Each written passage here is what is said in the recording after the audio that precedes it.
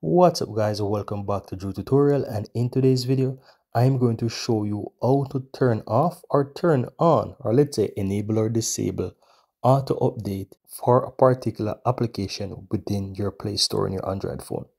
So you want to go ahead and open up your Play Store here. Now once you're inside your App Store guys you want to either search for application that you may have. For example let me type Instagram or if you'd like to see all of those applications that you currently have within your phone, all you have to do is just simply click on your profile image on the uppermost right hand side. And then you want to click on manage app and device. Simply click on the tab on the top that says manage and you will see all your applications.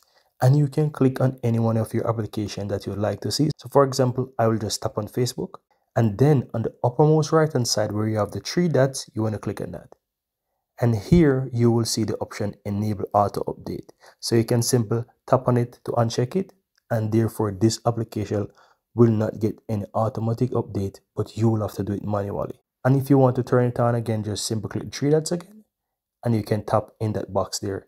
And as you can see auto update is enabled again. Very easy and very simple guys